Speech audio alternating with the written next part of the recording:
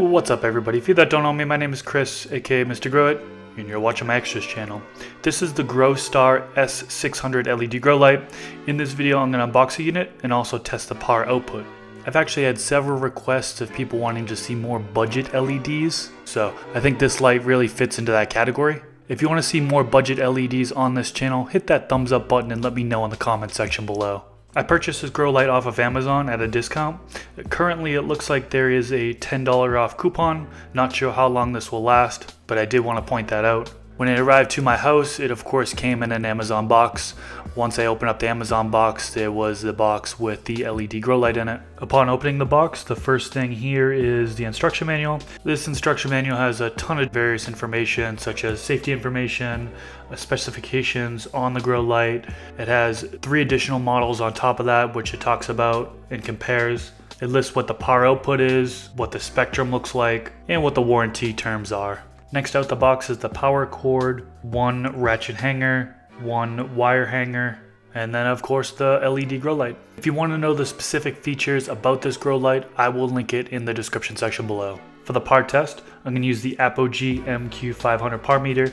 This measures from 389 nanometers to 692 nanometers, plus or minus 5 nanometers, and measurements are in ppfd. Uh, this is just going to give you a general idea of what the power output is, it's not meant to be 100% accurate. I am taking measurements in a grow tent which has reflective walls so that could increase the numbers, so just keep that in mind.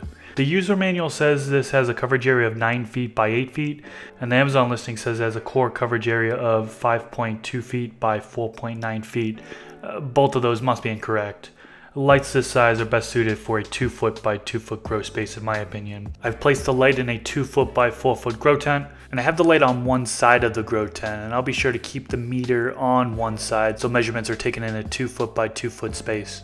I'll be taking measurements at three different distances, 12 inches away, 18 inches away, and then 24 inches away. Let's see what these measurements look like.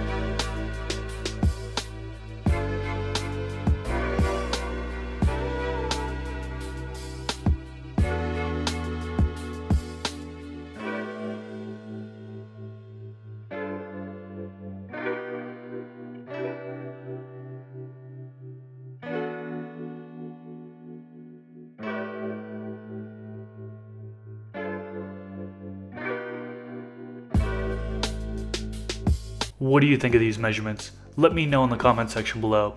Again, I have left a link to this grow light in the description section below so you can find out more information. That's pretty much it for this video guys. If you enjoyed it, please click that thumbs up and I will leave it at that. Thank you so much for watching and until next time, peace.